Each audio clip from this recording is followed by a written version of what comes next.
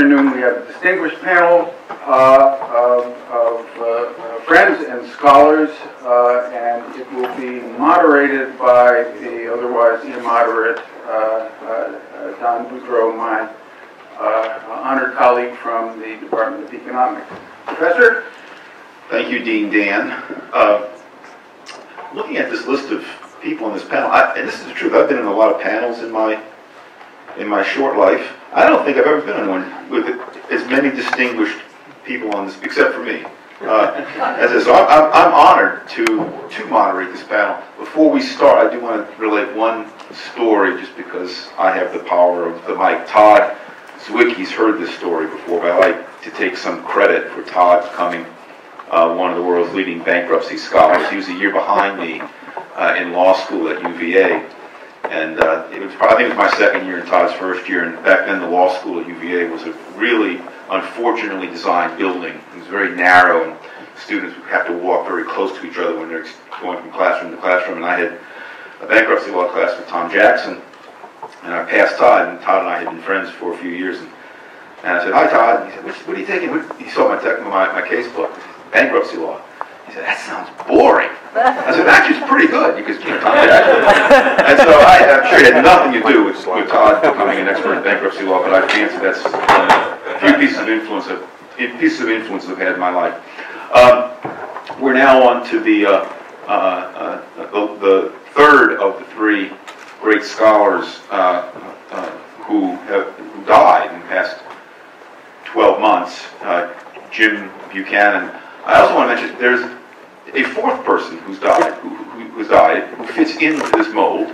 I don't know that there's been any 12-month period in which uh, uh, a good, sound, liberal, classical liberal scholarship has lost so many solid people as in the past 12 months. Ronald Coase, of course, died beginning of, of September. That's quite a loss. Uh, uh, the speakers uh, today will go in alphabetical order. Each will have between 12 and 15 minutes to speak, and then we'll have some reactions and some, some time for Q&A. Hopefully, uh, first speaker is my colleague, uh, Pete Boettke. Uh, Pete's the only person that I know uh, who lives in an alternative universe with 28 hours in his day. So he's here now, and he's also somewhere else, but Pete. I think they, they have a PowerPoint loaded up for me, so I going to stand up, little bit. Um, it's a great honor for me to be here. I was going to mention about Ronald Coase, and I'll bring him up as well um, in this talk. Um, so uh, this is my paper. Uh, Henry uh, Butler contacted me, or the people contacted me, asked me to come here, and I uh, they were going to do a session on Buchanan's contributions to constitutional political economy and so I had this opportunity to come, and of course, you know, jumped at it. We've been doing a fair amount. Dick Wagner and I have been doing a fair amount of uh, celebrating of Jim Buchanan's scholarship in his life uh, over the last uh, um, uh, year, and uh, sometimes it's difficult to figure out what you're going to say that might be different than what you've said before, because there's only so many things you can say. But Buchanan has a very rich uh, intellectual tradition and its relationship to various different strands of thought. I really like Todd's talk about the George Mason tradition. Uh, the other conference that I'm at uh, this week is a Liberty Fund co-sponsored conference with uh, us at the, the, economics department at George Mason, and uh, it's called Adam Smith Fellows, and we gave all the students a T-shirts with a picture of Adam Smith on it, and it says "Economics with Attitude," which is that's how we think of our George Mason economics tradition uh, when it's done right. Um, not all my colleagues agree with that, but that's their problem. uh, but we're trying to, you know, keep this tradition going. But uh, all right, so very simple. Sorry for the complicated things here. Is that if you know, there's the one takeaway here. It's kind of this slide, which is that Buchanan's perspective on things, economics is about exchange and the institutions within which exchange takes place. Um, the political economists should not act as if they were pro-offering advice to an omniscient and benevolent despot. One of the things that's real challenging to people that are interested in public policy with respect to this is in Jim Buchanan, one of his first papers that was published in the JPE, it's called Pure Theory of Government Expenditure, he challenges the very core idea that you can have a unified public entity that is in fact determining public policy. And he says, look, that's just not the way that you should go about doing public policy advice. And then right on the heels of that is all his critique of Arrow's theorem and the nature of the social welfare function and whatnot. And, and so you think about what Buchanan does in all of his work in public economics. It's imagine that you could do public economics but without any reference or recourse to a social welfare function. What would welfare economics look like? What would, what would uh, public economics look like? Um, and so what it will look like is in fact uh, an issue of the exchanges that take place within that realm, uh, that nexus, that political nexus, political legal nexus. Public economics work implicitly as a political philosophy, so it's better to make it explicit. The positive political economist can combine the reformist zeal that attracts people to the discipline of economics in the first place with the strict scientific demands. I'll explain here how he tries to do that in, in a second. Uh, the most important function of the uh, of economics as a public science is its didactic role in teaching the principles of spontaneous order to students. One of the things that's fascinating in Buchanan's ideas, and you think about books like Cost and Choice, which, which Todd made reference to, the subtitle of which is like elementary, elementary explorations or something into economics. Buchanan insisted on the basic principles of economics, and part of the reason why economists create nuisance in society he says is because they get bored with the principles of economics and they go around imagining things that they could invent. But instead, they should just go back to these core principles. And then finally, hopefully if I get to this, the idea is that the contemporary classical liberal political economists must capture the imagination of intellectuals and the public today, again, uh, with concerns about justice of the liberal order, freedom and responsibility, and the vision of a self-ordering and market economy that can inspire a new generation. Now, the reason why I bring this up at the end, and I'm not sure that I'll get all the way around to this, but one of the things that's most fascinating about Buchanan and also most fascinating about Coase um, is that all the way to the end of their life, they were constantly intellectually still pursuing things. Ronald Coase just published a book a year ago. He did a podcast with our colleague, uh, you know, Russ Roberts, not that long ago. He's 102 years old right? And he's still like, oh, and Jim Buchanan, I went and saw a talk by Jim Buchanan in August a year ago. Uh, and uh, Buchanan got done with the paper, and he says, "Well, I'm still not quite happy with the way I formulated that. I got to rewrite that paper." and I'm sitting there thinking, "Oh my gosh," you know. So here he is in his in his 80s and 90s, and he's saying, "Look, can I identify what are the crucial problems with classical liberal political economists that they face today?" These are papers in the last decade of his life. And he's sitting here and he's saying, look, you know, you have to cope with the problem of justice and the demands for justice, and we have to come up with an answer to that if we're going to sort of move forward. Um, he wrote a, a paper in the 70s called Natural and Artifactual Man, which says man wants freedom to become the man he wants to become.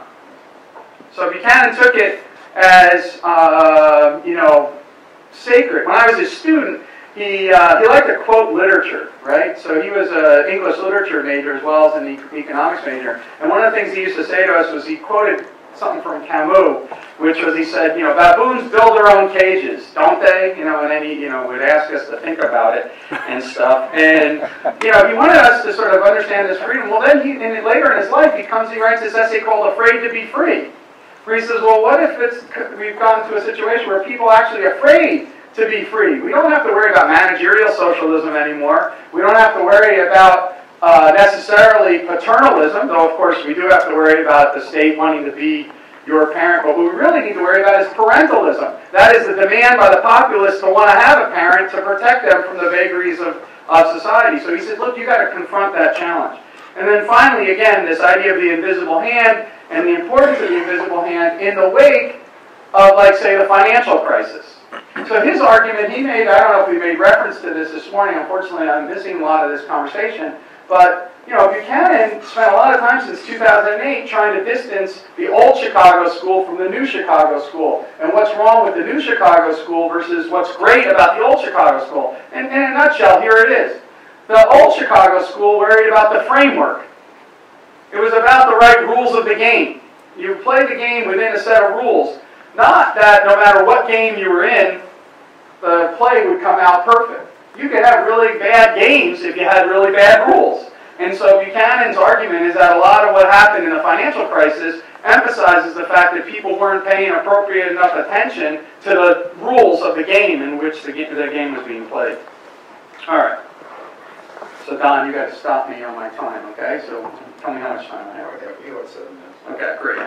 So what I do in the paper is we walk through, it's a co-author paper with my, my colleague at the department, uh, Liya Palagashvili, um, and it's, it's uh, sort of walks through this sort of argument about Buchanan, and we go through various different papers of his. One of them is What Should Economists Do?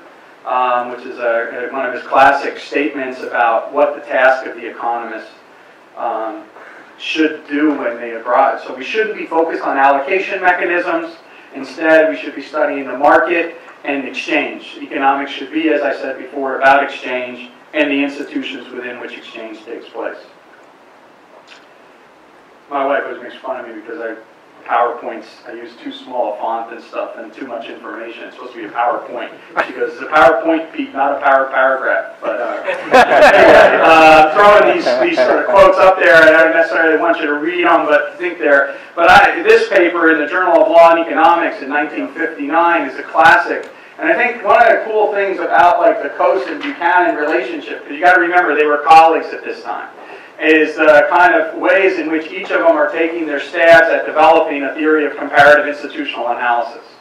And so in the FCC paper, uh, for example, I think there's a great uh, you know, line uh, in, the, in the Journal of Law and Economics piece, is like around page 18 or whatever in the upper right corner. Uh, Coase says this thing where he, he says, look, he goes, my, you know, my novel theory, and then he has in parentheses, you know, novel to Adam Smith nonsense. right? And so the basic idea is that economics is about exchange and the institutions within which exchange takes place. And when we shift those institutions to a world that's absent of the private property market economy, Coase identifies the three things that you're going to have to deal with as costs. Right? Those are the absence of monetary calculation, the inability to use dispersed knowledge, all right, and the problem of the play of special interest groups. And he sums it all up. And he says, by the way, this isn't novel to me, it's novel to Adam Smith. And that's actually how I think that, you know, both Hayek and Buchanan and then Coase, they all sort of see themselves in that light.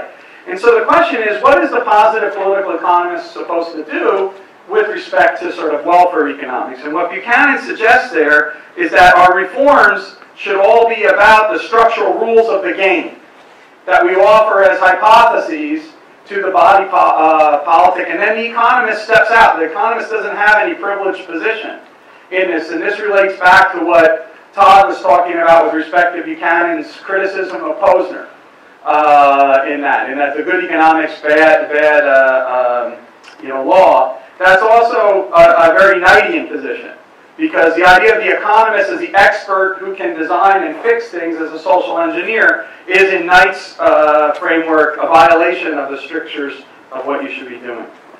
All right, so other things, the structural puzzle of political economy that Buchanan puts us all through, which is basically the old adage, you know, who guards the guardians. I don't know how many people remember when Buchanan won the Nobel Prize, but you know, at the time it was very common for the news people to ask people to sum up their Nobel Prize address in very short things. So, you know, James Tobin said, don't put all your eggs in one basket, you know, these kind of things. And they asked Buchanan, I don't know if any, many people remember this, but he said, they said, how do you sum up your ideas? He says, you don't let the fox guard the chicken coop. and, uh, about, you know, of these things. And this is Buchanan's play of the structural puzzle that we all have to confront that we empower the protective state, we empower the productive state, but how in doing that do we restrain the redistributive or the churning state or the rent-seeking state? So we try to talk about that idea. I got only two more slides left on. Um, what I want to suggest here is this Buchanan for the future. So Todd ended up by talking about the future. It seems to me that Buchanan's constitutional political economy is a live research program. It's not a dead research program. It's actually part of our ongoing conversation. And the issues that I think are the two most important ones that we come to grips with are the post-Soviet context and the financial crisis both of which force us to deal with the idea of the importance of the framework in a world where the framework is in fact what had failed. So if you think about this way, institutional problems demand institutional solutions. And so what we need to see is how is it that you come about that frame? We can't treat the rules of the game as exogenous. They are endogenous to the process, what you were talking about before in your thing about the evolution uh, of these ideas. Where did we get our idea from that? Well, from Jim Buchanan.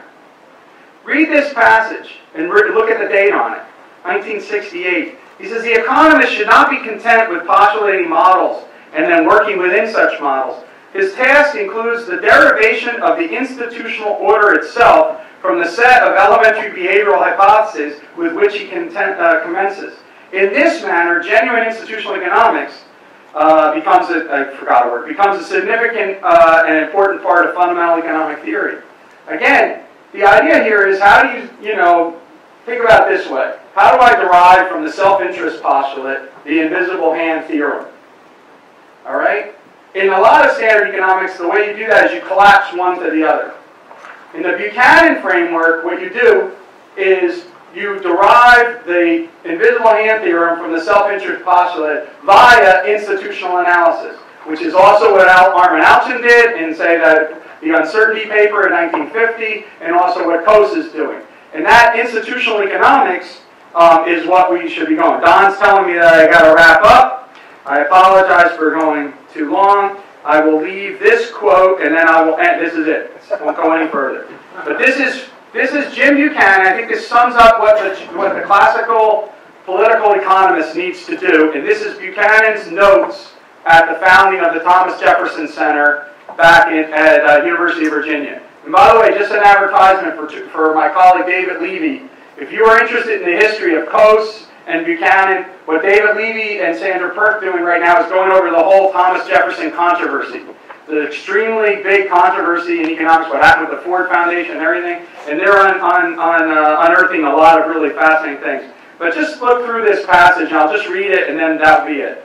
Uh, so what, they, uh, what the Thomas Jefferson Center was set up to do was to, quote, strive to carry on the honorable tradition of political economy, the study of what makes for a good society. Political economists stress the technically, technical economic principles that one must understand in order to assess alternative arrangements for pro promoting peaceful cooperation and productive specialization among free men.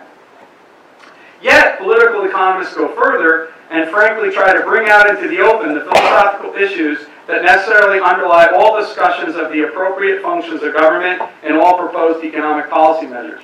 When I was listening to Todd Zywicki talk about the George Mason tradition in the law school, I think that that strives exactly what they're trying to get at. When I think about our George Mason economics department when it's at its best, that's what I think we're all still trying to do. And in that regard, I think that's a great testimony to the vision and analysis that James Buchanan had to offer in his career. Thanks, Tom. Thanks, Thank Pete. you. Thank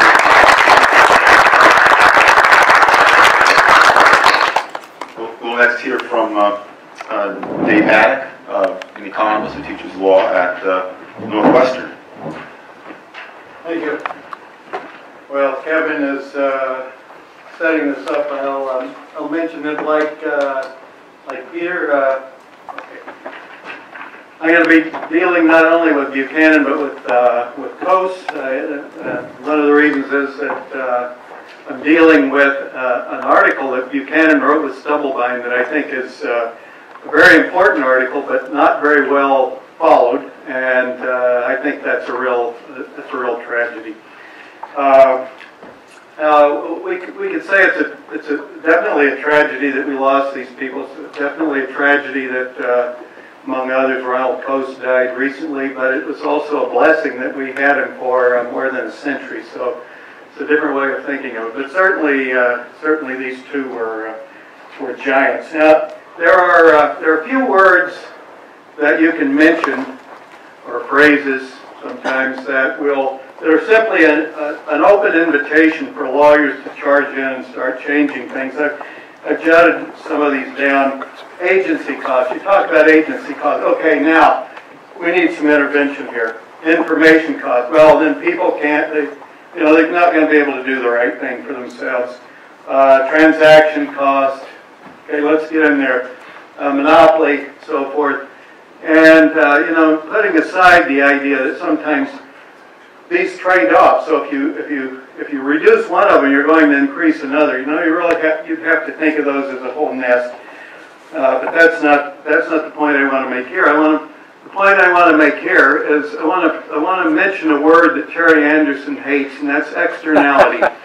Uh, he's got his fingers in his ears. Uh, that- that's another word. You say externality, positive or negative, and that's just an open invitation for, uh, for, for the legal system to, to get in and start, start uh, handling this. Now, one of the commonalities between Coase and Buchanan is that simultaneously they were working, I think it was independently, I don't think they, they actually uh, knew the other person was working on it. They were working on uh, some theories al- along, in Coase, in Buchanan's case, along with Stubblebine, working on some theories saying, well, well, this is just vastly overstated.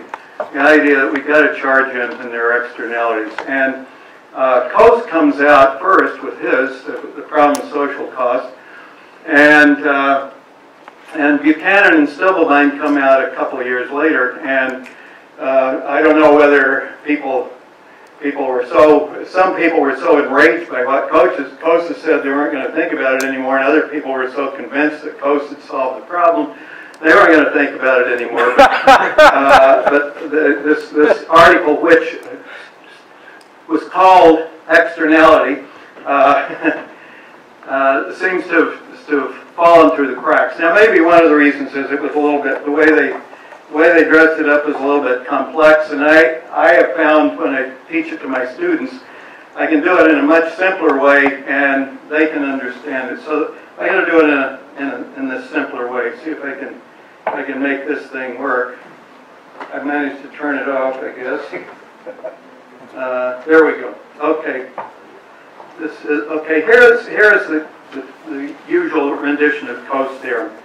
Okay, you have, you have, it, uh, uh, you have people who most value a, uh, a- an entitlement and people who own it. And if the, if the people who, if, and then you have, in the, in the Coase tradition, you have, following uh, Pigou, he had negligible transactions costs, which, uh, you know, you got a lot of, a lot of flack for it, I, I see nothing wrong with that. And the other thing that Coase dealt with was yeah, prohibitive transaction costs. And, and so the, the, the- great insight, as everybody knows, uh, that Coase made in the problem of social costs is if the transaction costs are, are negligible, then from an efficiency standpoint, you don't need to worry about who has the entitlement. The, the law doesn't have to figure that out. If- If the wrong person has the entitlement, then it will be transacted, one to the other. Okay, then you go over to the other end, the prohibitive transaction cost, and what Coase tells us is, well, in that, in this case, the legal system needs to be sensitive to where the entitlement is, is, is assigned. Because if it's not assigned in the right place, then it's going to be, it's never going to get to the right place. But it doesn't give us much of a roadmap, how to get from one to the other. Now, I- uh, just in passing, I'll, uh, uh, there's another article that I think is unduly neglected by John Prather Brown, uh, uh, where he's, he starts trying to, uh, to hash that out, but that's not going to be the, the context I'm talking about. One thing you'll notice here is that you've got uh, negligible transactions costs at one end, and you've got prohibitive transactions costs at the other end, but you got, you don't have the thing in the middle, which is they aren't prohibitive, but they're not negligible either. They're transactions costs that are large enough that one might want to take into account. And this is where I think uh, uh, Buchanan and Stubblebine are really important. And so I'm, I'm going to go to this, and I'm going to put in the middle, there's this third column, which is called significant transactions costs. So these, you don't want to, you don't want to neglect them, but, uh, but they're not going to defeat transactions. If you, if the, if the, if the entitlement is misplaced, the, the entitlement will move, but it's going to be costly when it moves.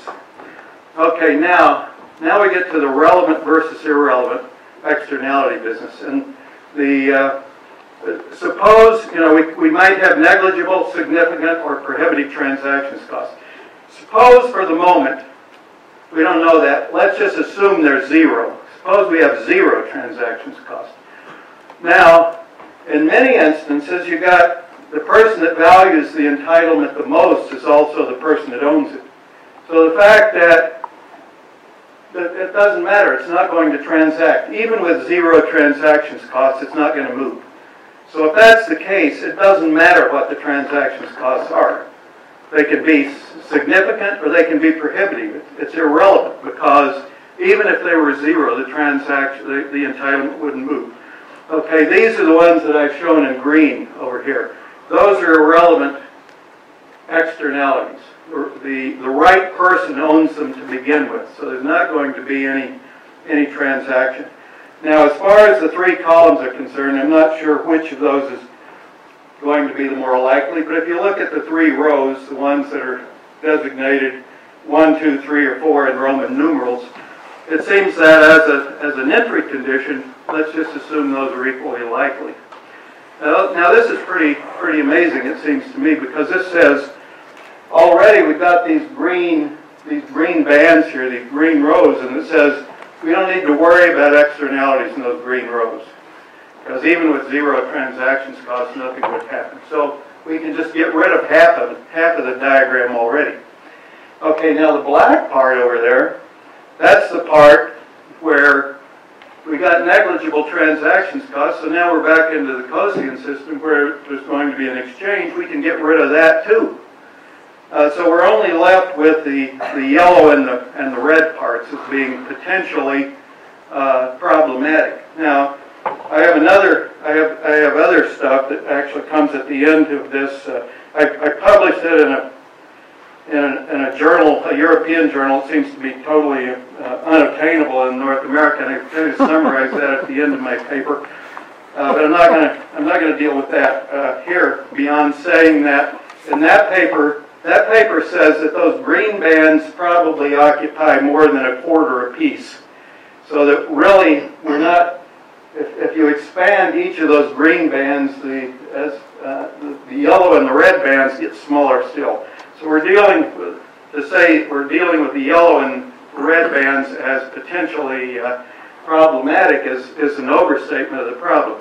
Okay, now one of the things here that Buchanan and Buchanan says in, in other places as well is with with Stubblebine is, well, okay, you know, but costs are costs are costs. So suppose we have an externality problem. Let's go to the prohibitive part. Go over over to the the, uh, the red bands. Suppose you've got uh, prohibitive transactions costs, so you're not going to be able to internalize this externality. Uh, the, the, the free market can't. That's going to impose a cost. Oh man, that's bad. But if, if the legal system intervenes in order to correct this, that's going to impose a cost too.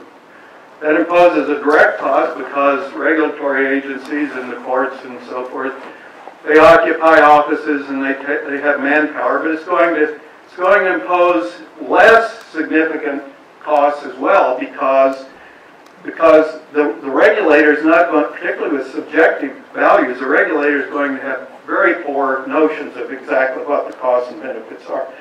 So even there, you, you've got to be measuring the cost of the externality if it's not controlled against the cost of controlling it. And there's no reason to believe a priori that the cost of controlling it is going to be less than, than the cost of the externality. If we go to significant ones, then you've got more or less the same problem, uh, except uh, the only difference there is that you will you will move the entitlement. It's going to move at a at a significant transactions cost, which could be avoided by a nirvana uh, government.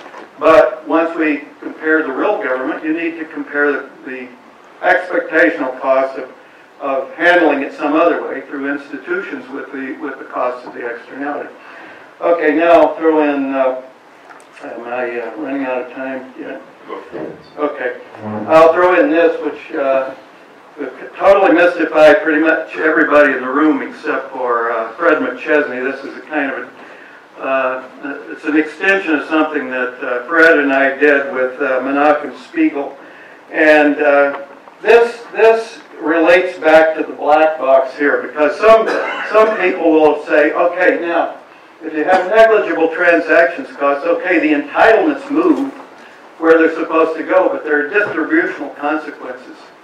Therefore, the, the argument that you're going to get an efficient outcome cannot be true because you're going to get different outcomes depending on who owns it to begin with. Well, that's a mistake, and actually, Coase, Coase mishandled this uh, in his notes on the problem of social cost. He kind of waved his hands. The way he should have, the way he should have answered it is that the mistake is in assuming that an efficient allocation of resources is unique. That a Pareto efficient allocation of resources says you were on the contract curve. And uh, I can't move over there and also stay near the mic, but if you, you can't see those letters either, but we have, okay, you when you look at the paper, you can actually see that. what you'll see is that you have two initial allocations, and they have, they have trading lenses that do not overlap, which means you cannot possibly get to the same allocation if you start with one versus the other, allocation of the entitlement. But that doesn't mean that it's inefficient. If the transactions costs are negligible, either way, you're going to the, uh, going to the contract curve. Uh, I, I, I was racking my brain trying to remember uh, when I had, uh, how many times I had met uh, Jim Buchanan. I was asked to speak. I corresponded with him on, on a number of occasions, but I, I can only remember one occasion when I actually met him, and I was giving a, uh, giving a talk, and the talk was, it was in three parts. There was part number one, which you had to know, you had to understand to be able to make sense of part number two and part number three. Part number three was the really important part. Part number two was, uh, it was kind of interesting, but it wasn't essential. You could either go through two or you could hop over to three. And so I went through one, and then I looked at my watch to see uh, if I if I had time to go through two, or if I needed to go straight to three. And Buchanan says, "You don't have to use all of your time." So thank you.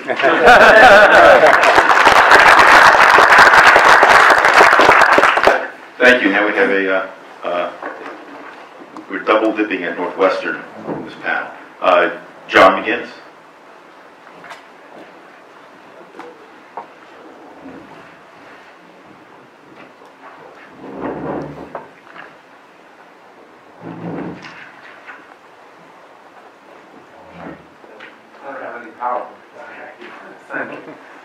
Uh, well, delighted to be here. I'm, my uh, is going to be a little different. It's going to be focused more on law than on economics. It's entitled uh, Public Choice Originalism, Bork Buchanan, and the Escape from the Progressive Paradigm.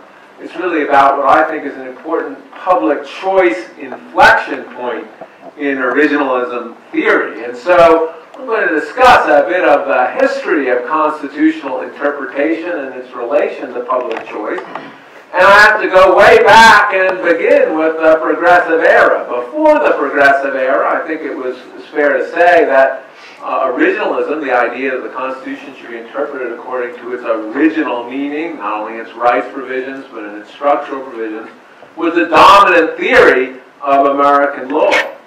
But it took the, uh, I guess, the second political scientist who became president, J uh, Woodrow Wilson, to overturn the work of the first uh, political scientist who was a president, James Madison, because he came in with very different theories, and uh, it's very hard to summarize them quickly, but he really was, uh, thought there was a huge problem of social change, uh, that the Constitution really was not capable of dealing with, and so uh, the enumerated powers had to be reinterpreted. I think he rather thought, according to some sort of Hegelian spirit of the time, but of course the problem in politics is people tend to disagree about what the spirit's saying.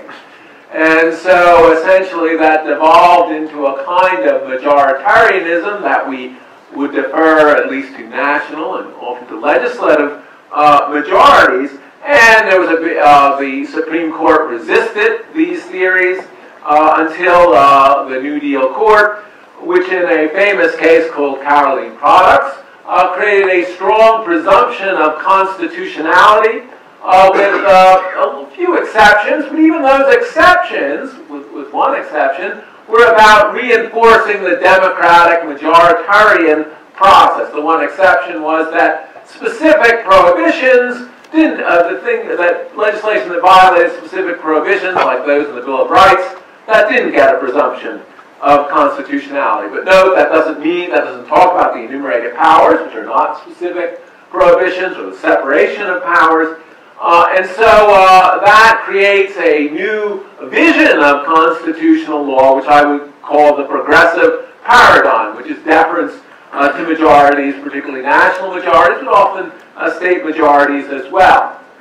The progressive paradigm undergoes a crisis in the Warren Court because suddenly the Warren Court seems to be uh, not deferring uh, to uh, majorities, most famously, of course, in the Griswold case in which it strikes down uh, rights to uh, contraception on rather extravagant ideas of, well, there's nothing, again, the Constitution, no specific prohibition, but there's penumbras in the Constitution that this uh, violates. That creates a crisis in constitutional theory, and I think it's then that originalism begins its comeback, and uh, I think quite correctly it seemed to begin in Bork's uh, very famous article, very referred to here, uh, uh, uh, Neutral Principles and Some First Amendment Problems. I think one has to understand that article against the, the backdrop of the progressive paradigm, the strong sense of majoritarianism. Not because that's not only true in the United States as a whole, but also at, the, at Yale University, uh, famously uh, Bork's colleague, Alexander Bickel, also referred to before here, uh, talks about the counter-majoritarian difficulty. What justifies a court in striking down uh, the work of a majority? And while Bork's article uh, certainly uh, identifies Madison in some sense as the patron saint of the article and certainly wants to protect rights of minorities as well as majorities, it still has a strong majoritarian uh, flavor. And that's not at all surprising. It criticizes wrongly decided only cases uh, in which the, uh, like Griswold, in which the Supreme Court strikes down uh, some majority uh, uh, legislation. Uh, and most famously, its theory of the First Amendment is a very much a democratic reinforcing theory. Bork actually doesn't do any historical work on the First Amendment, but suggests that we protect political speech as opposed to other kinds of speech uh, because that is uh, in the interest of the overwhelming uh, principles of the Constitution of, uh, of, of self-government. So it's still very much within the majoritarian, I think, uh, paradigm, while still, while the beginnings of, uh, I think, of a return to originalism. Here's where I think public choice comes and makes an important inflection point in originalist theory and it's both diffuse public choice and in particular uh, Buchanan's work with Gordon Tullock in calculus of consent.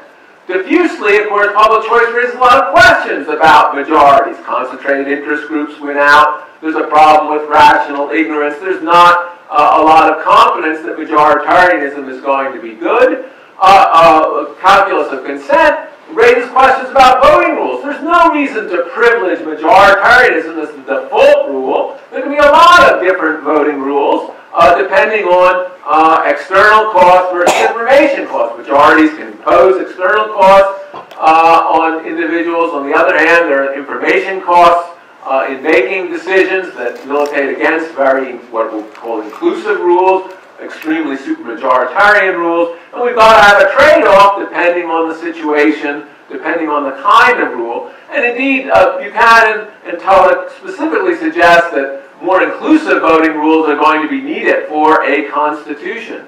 So one way of understanding, I think, uh, the calculus of consent is it's a return uh, to a justification uh, for a constitution, a supermajoritarian constitution, uh, with features that are strongly constraining majoritarianism, and given that, it gives a new uh, impetus to originalism, and particularly some of the other particular features of the Constitution, like federalism and the separation of powers, uh, that can be justified along public choice grounds. Federalism for exit reasons, separation of powers for other reasons. Suddenly there is a new justification that is completely contrary, I think, uh, to the progressive paradigm's assumption of majoritarianism. And I think that's a very important inflection point in the history of originalism. It changes originalism from a theory that is really reacting uh, to the excesses of judicial review to one that may become a pretty uh, aggressive theory of judicial review to strike down majoritarian legislation. Uh, let me just outline a few indications, I think, of the importance of this public choice inflection. One in constitutional theory, and another in actually what the Supreme Court does. In constitutional theory, originalism recently, I think it's fair to say, has become a very fractured theory. A lot of people are originalists in the academy, coming from a lot of different starting points. But what's interesting to compare these starting points with the previous starting points for originalism is none of them begin with the central problem of the counter-majoritarian difficulty. None of them say, well, the real problem here is we're striking down uh, actions of the majority, which really should be privileged. Some begin, like my own work with uh, Mike Rappaport, uh, uh very much along the Buchanan line. And let's, let's protect the results of a supermajoritarian process for making a constitution, which is the best way to make a constitution. Others uh, begin with a kind of classical liberal idea, but again, that doesn't go back to privileging uh, the majorities of the progressive paradigm. Still others really found their interest in, in language theory, but again, that's not uh, privileging this majoritarian view. Uh, the Supreme Court, I think, is also uh, moving uh, uh, in uh, this direction.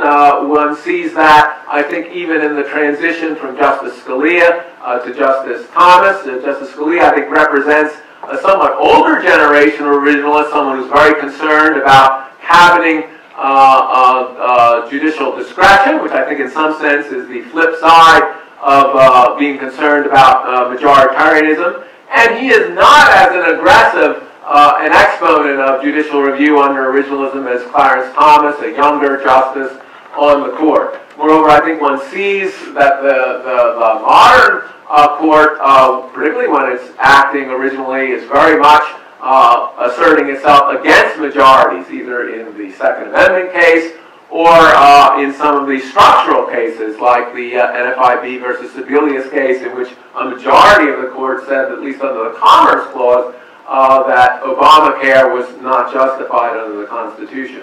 So I think those are very strong indications of the importance of the what I would call this public choice inflection point. Another strong indication is those who've not accepted the theories of public choice, generally uh, uh, people more on the left liberal side of the spectrum, have continued to be centrally concerned about the counter-majoritarian difficulty. They're still concerned about how are we going to put within the progressive paradigm an aggressive, uh, the kind of judicial review we would like. And that obviously raises a lot of difficulties. Uh, in the paper, I go through some of the possible uh, solutions to those difficulties. The most plausible solution I've always thought has been uh, that of John Hart Ely's uh, democratic reinforcing judicial review. One of the interesting things about uh, John, John Hart Ely's famous uh, book, Democracy and Distrust, is it doesn't seem, at least in its treatment of democracy reinforcement, completely different from uh, uh, uh Judge Bork's principles, which are also, at least with the, the First Amendment theory, focus on democratic reinforcement. But the difficulty with Ely's theory is that it really doesn't justify things like Roe versus Wade or the Griswold case and so progressives, the people working within that paradigm, have had difficulty figuring out how to justify that. One theory, for instance, uh, by Barry Friedman recently as well, the, there's no difficulty. The Supreme Court actually follows the majority will. That's the best explanation of what we see for Supreme Court decision making. I don't find that an extremely plausible theory. I mean, Supreme, a majority of people would like to have prayer in schools. Of course, the Supreme Court's against that. Uh, uh, so you go down the list. The Supreme Court, in its structure, is much more likely to follow the uh, the interests of uh, of the elites of society rather than majorities at all. But there have been various attempts uh, to do this, I think largely unsuccessful, but for my purpose here, what I think that reinforces the importance of public choice in the sense that those people have not really accepted uh, that paradigm for looking at politics still look at the counter-majoritarian difficulty as the essential problem for constitutional theory, whereas I don't think originalists do. So let me end very briefly with uh, that sort of, I think in some sense, a good news story for, if you're sympathetic to originalism. But I think there's a flip side of that. A public choice originalism, I think, raises some other very serious problems for originalism that I'm not sure originalists have dealt with. Let me take them in order. The first one is, is simply this. We are concerned about incentives, or what we might call design mechanism in an economic sense. Why should judges be originalists? What possible incentives do they have to be originalists? Is this just a kind of nirvana theory?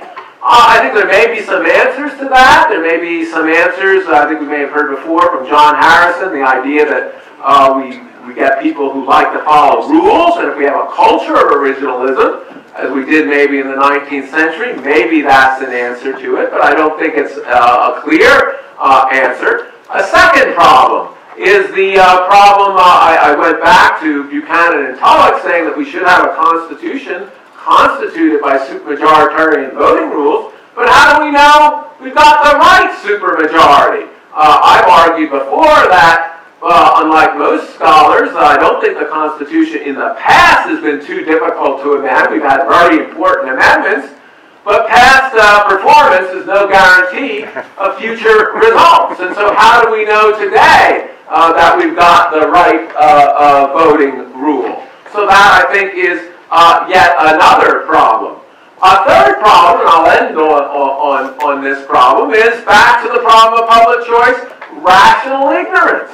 Uh, the, um, uh, and this has been developed uh, by someone, of course, from George Mason, not surprisingly. Ilya Somin is worried about for originalism. How are you going, if, if people are so rationally ignorant, uh, it's very important to understand what the Constitution meant at that time for those, for those people. That's what originalism is.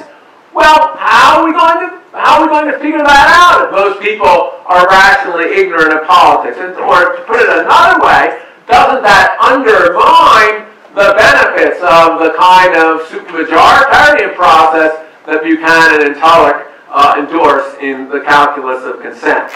So I think it's a very different story of original, the history of originalism that is generally told. It generally is focused on, I think, small changes in interpretive theory from original intent to public meaning, to constitutional construction. I think the biggest change in originalism has been the movement of conservative and libertarian and even uncommitted political scholars out of the progressive paradigm into the public choice paradigm, which gives a, a, a, a rationale uh, for a strong, aggressive kinds of originalism, but it also raises some questions uh, that I think originalist scholars need to address. Thanks very much.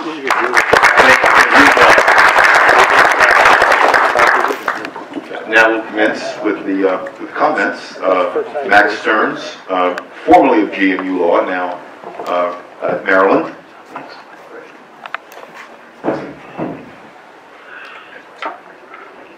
Thank you, everyone. It's uh, it's really a pleasure and privilege to be invited to speak on this uh, terrific panel and also as part of this fabulous conference. I just want to thank uh, Todd for inviting me and, every, every, and for helping put this together, um, and all the organizers from the journal.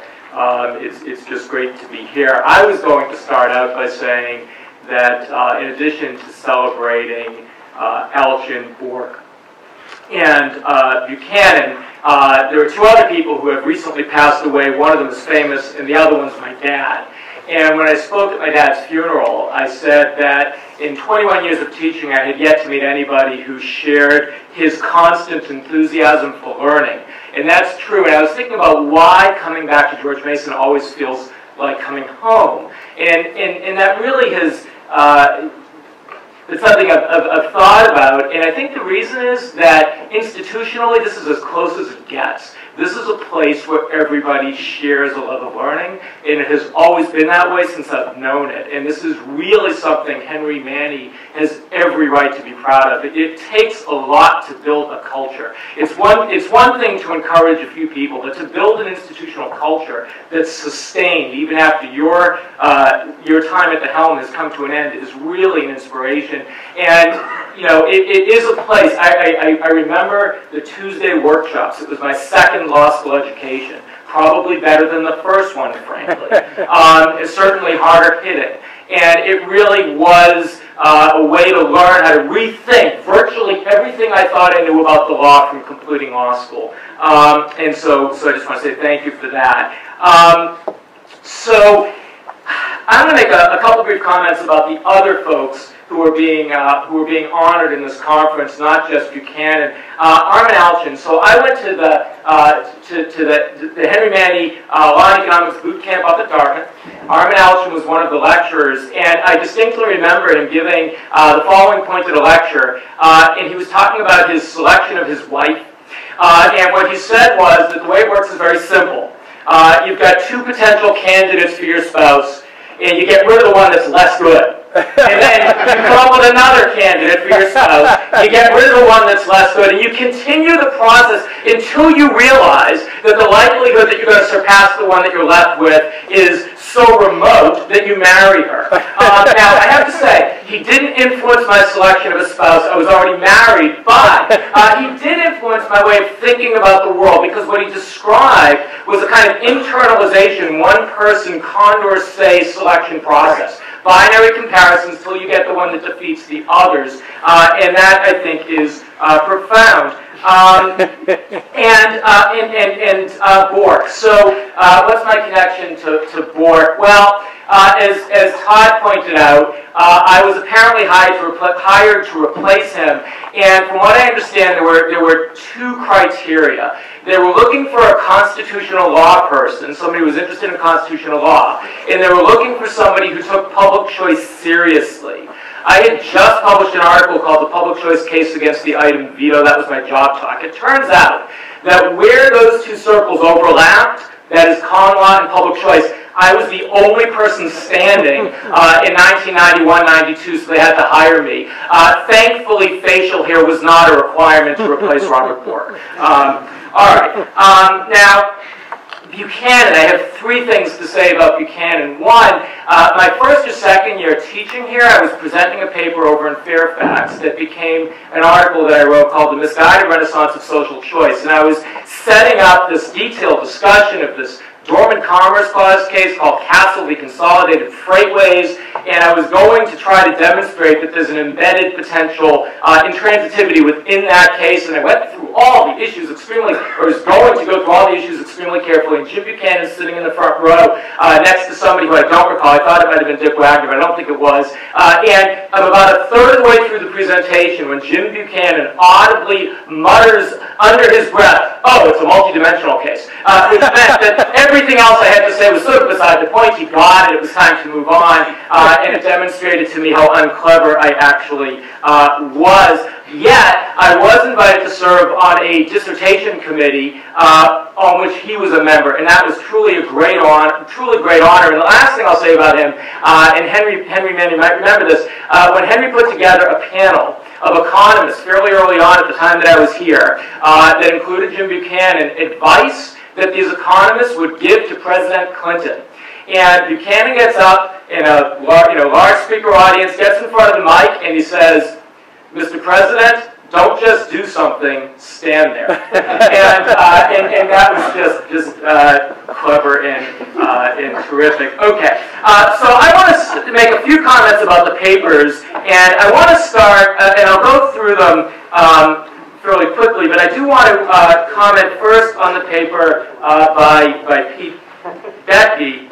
Um, and the, the main point of this paper, as I understand it, as I read it, is uh, that economics, as Buchanan understood it, was about the processes rather than the outcomes. In other words, it was about the processes that generated the outcomes rather than the specific outcomes that those processes generated. And the two quotes that just epitomize that for me, one is on page 16 of the paper, and I just absolutely love this quote by Buchanan, uh, and so I'm going to just read it to you. It says, um, but the market is the institutional embodiment, embodiment of the voluntary exchange processes that are entered into by individuals in their several capacities. That is all there is to it. I love that. In other words, studying the market means you're studying the processes through which the exchange uh, comes about that creates whatever it happens to create. That is all there is to it. And in a way, the irony of the assertion that that's all there is to it is how much there is to saying that's all there is to it, meaning the contrast of what it isn't, which simply is to say, in Buchanan's economics world, the market's a process, it's not an outcome or set of outcomes. Which is to say, we shift the focus from the whiteboard, which in his day was a blackboard, um, and from the, the, the, shifting curves and the changing equilibria and comparative statics to an understanding that we have to step back from this whole thing and not lose sight of the forest for the trees because really the best the economist can do is articulate and define the process and then allow the process to bring about the set of results uh, that it brings about. And that frankly, uh, unless we're hubristic, we need to recognize that we do not necessarily uh, fully understand. Um, the second quote that I want to read is at page 13, so it's prior to it uh, relative to the quote that I just read in the paper. And this is actually a quote by Pete. It's not a quote by Buchanan, but it's so Buchanan-esque that I, I do want to read it. Um, he says this, he says, the profit and loss mechanism provide market participants with a judgment of their decision making, and here's the key part. In the very discrepancy between ex ante expectations and the ex post realization in the market, motivates the discovery or learning by economic actors of better ways to match their production plans with consumption demands. I love this quote because what this quote suggests is that the market process is a dynamic one that thrives on an appreciation of the consequences of failure.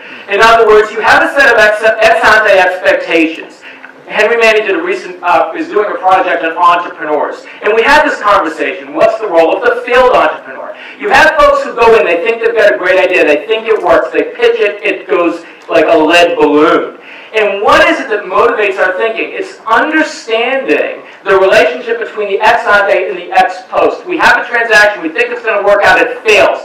But that motivates us to study not just the actors in the economy, it motivates the economists to study the dynamics of the economy and the nature of the transactions, which is to say, once more, it's about the process. And that's an enormously valuable, um, an enormously valuable insight that captures something essential about who Buchanan was. Of course, the other aspect of who Buchanan was was his understanding of the difference between constitutional rules and policy, policy making within the confines of those rules. And that, I have to say, is something that has uh, profoundly influenced the way Todd and I wrote our public choice course book. In fact, when I went back and looked at the Nobel speech that Buchanan gave, and then looked back at the course book that Todd and I wrote, I realized once more how uncreative we really were. The structure of the book at a micro level and at a macro level really maps onto his understanding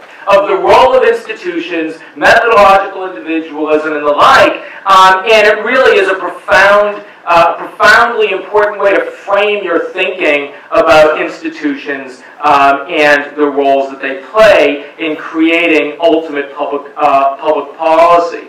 Um, so let me, uh, let me move on and make a few comments about uh, John McGinnis's paper, which I also greatly enjoyed, especially the second time reading it. Um, and he is making a set of observations about the relationships between two schools that don't obviously have much to do one with the other. And that is originalist constitutional scholars on the one hand, public choice theorists on the other. And I asked them a little bit about this because I'm skeptical, frankly, that originalist constitutional scholars are doing a lot of active reading in the public choice literature, but he's not claiming that. He's claiming it's in the ether. It's sort of out there in the environment in a way that's influencing the framing and the thinking, so that what had once been a set of arguments about the counter-majoritarian problem now embed within them a set of skepticisms about the merits of majoritarianism. Now, that ought not to be a surprise to folks who are originalists, because in fact, in a sense, Madison's Federalist 10, which is a precursor to modern public choice theory, expresses skepticism about rapidly forming majorities. So this ought not to be a newsflash to originalists, nor is it necessarily obviously the case that originalists are uh, skeptical of majorities because you can see that it's really a question about which particular majorities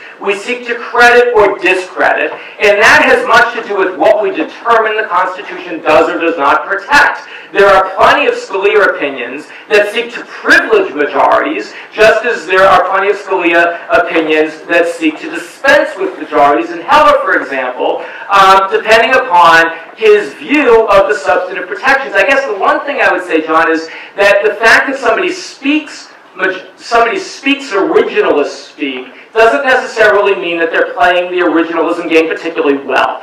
And in fact, it is clearly the case that most of constitutional interpretation, a lot like statutory interpretation, is about filling in interstitial gaps with respect to broadly worded provisions in which one can make credible arguments consistent with the text that pushes in either direction, which gives me just one minute to deal with uh, David Haddock's really interesting paper. And let me just say this about it. I'm going to come at the very end, the part David didn't get to, unfortunately. If I can steal one more minute from the one I have, two minutes. Uh, here's, the, here's the image. Ship is passing an island. The person who's a Robinson Crusoe on the island is making an allocative decision between agriculture and forestry. And the folks on the ship love the view of the forest, don't care so much for the view of the agriculture. And there is a question about whether Robinson Crusoe allocates too much to the agriculture at the expense of the forestry. And David says, well, you might think that there's an externality in need of fixing under a Coasian kind of analysis, but no, because in fact, there may be only one person on the ship who really cares about this. And that person can self-identify and negotiate with Robinson Crusoe. And I thought about this because it's so clever. And I thought, well, but is there an example empirically in the world that would help me to figure out whether that is true? And the one that occurs to me is this. I have neighbors, I live in a house, I have neighbors all around me, and if one of them has something on their property that offends me in some way, you might say, well, Stearns, you're the person who cares the most, come forward and negotiate with your neighbor. And the fact is, the world never looks like that, really. The way it looks instead is that we have zoning laws. And the question is, well, why do we ubiquitously see zoning laws? And the reason I suspect is, although I could come forward, I might actually prefer my neighbor on the other side to be highly offended by that conduct. And I might imagine that he could hope that the person on the other side of the street could be highly offended, which is to say that there is a potential cycling problem here. And you're absolutely right to say a cost is a cost is a cost. But I would just say that you're not pushing it quite far enough. The structural impediments of cycling are also a cost. And yes, a cost is a cost is a cost. So I would say that when you incorporate that into the cost side of the Coase theorem, it's less obvious that you can come up with a beneficial contractual solution without some form of benign state intervention that we actually see all around us. Again, thank you very much. Uh, it really has been a pleasure. Thank, thank you, Max. Uh, Dick Wagner, my colleague at uh, GMU Econ, and a uh, former student of Jim Buchanan's from Jim, Jim's and Gordon's days at, at UVA.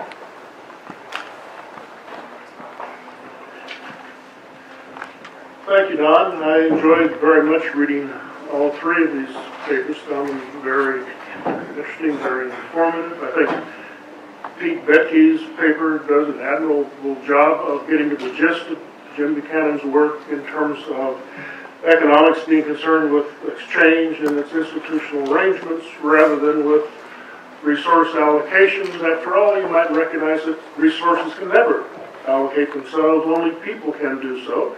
And they must do so within some framework that governs their interactions and relationships. And so I think uh, Pete, uh, along with uh, Liya, whatever the name I can never pronounce. I had her as a student once. She's a very fine student, but uh, I wish she would shorten her name. but not Paladashvili. I still couldn't say. Uh, but uh, just wonderful. I think uh, John McGinnis's uh, paper on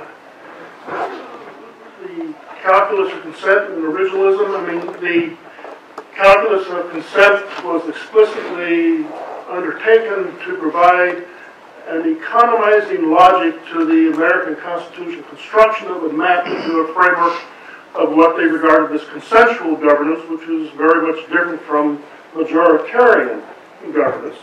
And so, you know, I think, yeah, I think for sure that there are connections between modern interest in original interpretation and the calculus consent and the framework that it uh, uh, set forth there. And I think John, I think, explores uh, some of that, I think, in, in, in wonderful fashion. And Dave Haddock, I think the, he talked about the distinction in Buchanan and Stubblebine between Pareto relevant and Pareto irrelevant externalities. That, I think, in many times when people think about uh, externalities, there's a kind of an implicit presumption that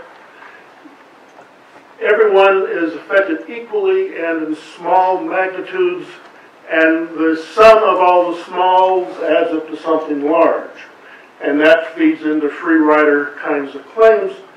Uh, Dave points out that in many cases what you'll have is rather, in terms of affected parties, quite a, a variation where there'll be perhaps in, in log normal like fashion, there'll be one or two or three people who are affected quite strongly, many who are affected modestly, if at all. And so within a framework based upon private ordering, we would expect that most of these so-called externalities uh, situations would be external, ex internalized through private agreements among the participants. And so all three of these papers, I say, I think raise important points. They all speak to the core of the work of James Buchanan. And I've only taken about two minutes from my commentary, and I wondered, well, what should I say now? Because I could just pile on compliments, but I don't think that would be helpful. And so I decided what I would do is to, is to look at something different. I've given myself this title, James Buchanan's Political Economy, a Paretian Refraction. Now what do I mean by a Paretian refraction? What I want to do then is to take the Buchananist themes as these three authors reflect through their papers and ask how would that come out if you refracted that through Pareto's ideas to displace uh, those? That's the kind of thing I have in mind. Why do I choose Pareto in this context? Well, Pareto was an Italian, obviously. Pareto wrote a lot on public finance and political economy. Pareto was a classical liberal.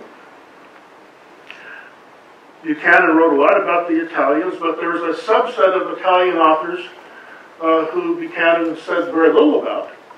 Among them was Pareto, but also various kinds of interesting sociologists of democratic oligarchy and things like that, like Gaetano Mosca, Roberto Michels, and things like people like that. So I wonder if maybe there's something that could be explored in terms of trying to refract some of the Buchanan ideas through this Paretian kind of prism because there is a lot of, of similarities. And I do this refraction not in the spirit or in the sense of wanting to say that, well, one is right and one is wrong in some essentialist way, because I'm very much a Nietzschean in the sense of thinking that the world is going to require us to look through, through it in a number of different windows. Because after all, what we see at any one time is itself a product or a feature of the uh, theoretical lens within which we work. And so I think to look upon a complex world is going to require a number of different lenses that is, is going to highlight different features of what we're looking at. And So, and there are other people besides Pareto I could have uh, used, but Pareto is the only Italian in the group. For instance, Isaiah Berlin had the same outlook of Pareto in terms of there being non-commensurable values held within a society. And uh, the other person is Carl Schmitt, who was a German, who felt like Pareto that the uh, domain of the political could never be eliminated uh, from uh, uh, social life, that there was a certain kind of economy of the political, in his case, that was due to inherent friend-enemy qualities within society, as well as always a case of exceptions arising. So I want briefly in about three or four minutes then to say something about rationality in Pareto, number one, two, the divergence between Pareto and, and Buchanan, and three, what it all means in terms of theories of social change in relation to sentiment and reason, which were Paretian themes. To recognize that Pareto's started out as an economist, a free market economist who was utterly convinced of the beneficial qualities of private order, market ordering, and found himself then wrestling with the puzzle, well, if these market ordering is so wonderful, why does it have such, is, is embraced so weakly? How can I give an account of that? And that's where he ended up writing his 2,000 page treatise on general sociology as his effort to wrestle with that. Now, in that, he makes a fundamental distinction between. Pareto, first of all, did not believe at all in irrationality as a concept. He was like Thomas Szasz before his time in that, so that rationality, everything was rational but there are different categories, what he referred to as logical action and, excuse me, uh, yeah, logical action and non-logical action. Logical action was action where you could, an actor could see a direct link between an action taken and a consequence achieved in any expected value sense. Now, obviously, not every business plan works out as you might expect, but still, that there is that direct linkage uh, that ties the actor's action to the anticipated, reasonably, logically anticipated consequences of the action. Non-logical action then was action where there was no such linkage. And Pareto joined that with the recognition, I think, that uh, to a large extent, humans have a quality of wanting to give logical sounding interpretations to their actions. You always have to give reasons, even if there is no logical connection, that would give you reason to think that your action will produce the result that you claim to want to produce. And the scope in non-logical action became, in large measure, the uh, place where politics took place. And so that was that became the world or the realm of sentiment. And um, Pareto thought that sentiment was an important part of politics. He, he and Buchanan, I think, would diverge in terms of what kind of theory of society ultimately do you embrace. I think uh, in his in a book called Four Sociological Traditions, uh, sociologist Randall Collins describe these four traditions, two of which are, I think, most significant for, for economists. One is what he called the uh, exchange tradition. One is what he called the conflict tradition. Buchanan, as is interpreted as a sociologist, would fit within the exchange tradition. Pareto would fit within the conflict tradition, as would Max Weber. Within the exchange tradition, Herbert Spencer fit within that tradition. And that uh, in in, in response to the claim about, well, choose the Constitution that would maximize social welfare, Pareto gave the response that, well, for the wolf, happiness is achieved by eating the lamb. For the lamb, happiness is achieved by avoiding being eaten. And how do you maximize social welfare? And uh, saying Pareto's sort of formulation that society was a, a situation of, of competition among elites for positions of leadership over, over governed masses. That's a different conceptualization than Buchanan. And say, I bring these up not because of any interest in saying one is superior to the other, but saying in terms of the problems of liberalism, because Pareto wrestled the same problems of liberalism as Buchanan did and thought about them. And that in the in the um, in, in the Paretian sense that you had somehow to deal with sentiment. Like for instance, speaking of sentiment, if you go back to think about entitlements, think about Herbert Hoover. It was Hoover, after all, who promised a chicken in every pot. Now, what kind of language, because this gets into language, then, what kind of language do political figures use in selling their programs? Well, isn't it always a language that connects to the product side of the market? Something you can have. And if you're a listener and a favorable listener, at a lower price otherwise you would pay. That's the nature of politics. And so, all political programs, I think, make statements about the product side of the market.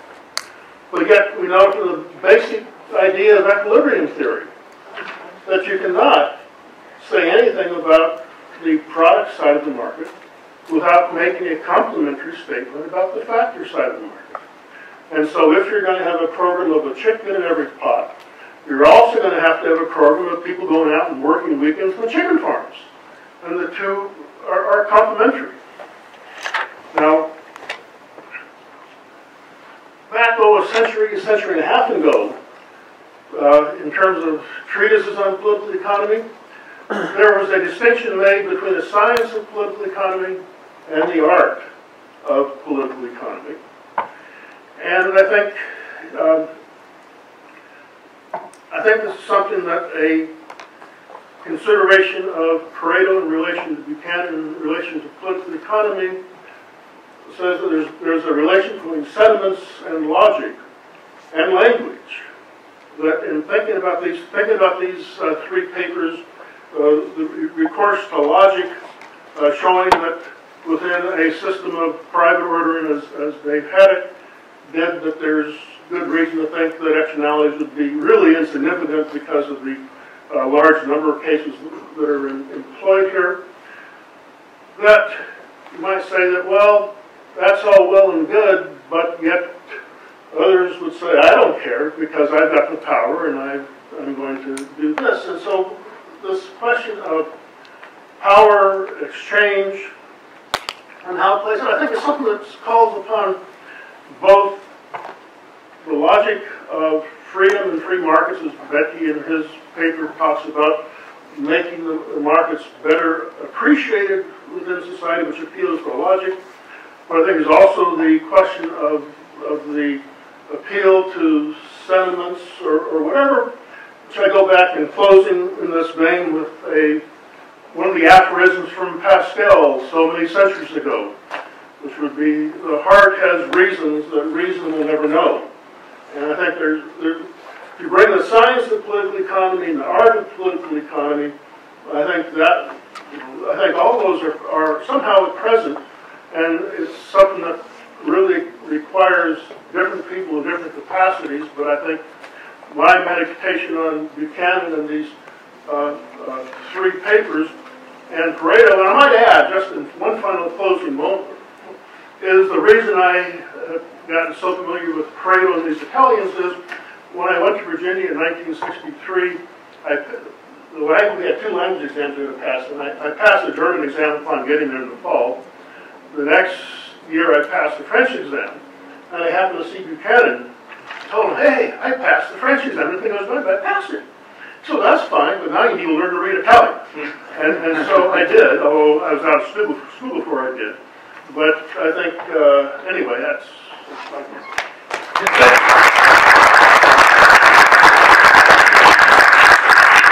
Thanks, Dick. We have uh, just a few minutes. I'll ask each of the um, main speakers, I'll give each of the main speakers just about a minute or so if if they want to say anything in response or reaction. Pete? Just, uh, I, I actually responded to anything, I would like to ask John a question, which is, I found his topic quite fascinating, the relationship between the progressives and the change, and I was wondering if he had looked at Vincent Ostrom's uh, work on the intellectual crisis of American public administration, which um, Gordon Tullock, you know, got to publish through the Public Choice Society and whatnot early on, because it's about the nature of the transformation of public administration due to Wilson.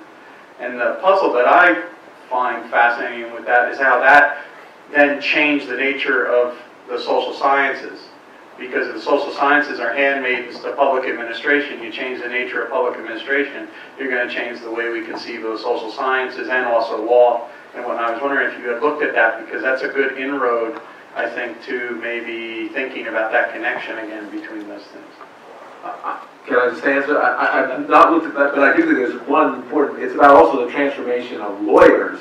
Hamilton, in thinking about judicial review, thought lawyers would be the brothers of merchants and the defenders of property. Once you create the large regulatory state, lawyers flip and become, they see all new regulations as an opportunity to slice off some transaction costs for themselves. And so I do think that's a profound change.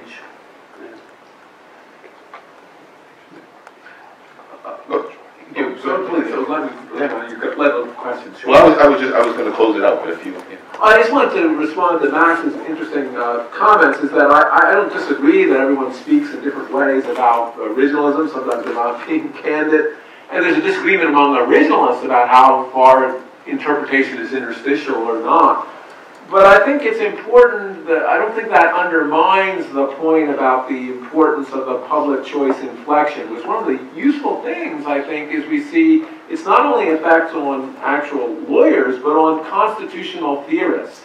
Those who aren't sympathetic to public choice, and those who, which are generally uh, in the, in, on the left liberal side of the spectrum, they have continued to be very concerned about the counter-majoritarian difficulty. That really is now, I think, the distinctive difference between uh, uh, the different sides. And I think that only can be explained by the rise of the importance of public choice, both in its diffuse sense and, for some of us, in its more theoretical sense on, on originalism. Uh, in, I'm going to close it out now, but I want to relate one anecdote in, in closing that I think should be mentioned here uh, because of the nature of the of the of the celebration. Uh, there's another connection between Buchanan and Alchian uh, that a lot of people forget. Is that Buchanan actually spent a year on the faculty at UCLA. Alchian enticed Buchanan uh, after the unfortunate events at at, at UVA to uh, move to Los Angeles to become a member of what was arguably you know, the best economics department in, in, in, in the English-speaking world at that point, UCLA. Buchanan went out there for a year, and anybody who knows Jim uh, is only surprised that he went out for a year. not surprised that he didn't last in Los Angeles for years. Cannot picture Jim Buchanan driving around the Los Angeles freeways for much of his, his life. But huh? yeah, that would be it. I always if you look at the original the, the, the original cover of Buchanan's uh, 1992 autobiography, which is entitled Better Than Plowing. It's, it's a picture of Jim sitting in his rocking chair on his, uh, on his, in his farmhouse, on the porch of his farmhouse near Blacksburg, and he looks for all the world, uh, all the world to me like a poster child for the Great Society program, rather, rather than as a Nobel Prize winning economist, but a, but a great economist he was, as of course great scholars are the, are the other two as well. So thanks, uh, thanks to all of you for a wonderful panel. I think we, uh, I'm sorry? We uh, start again in uh, 15 minutes.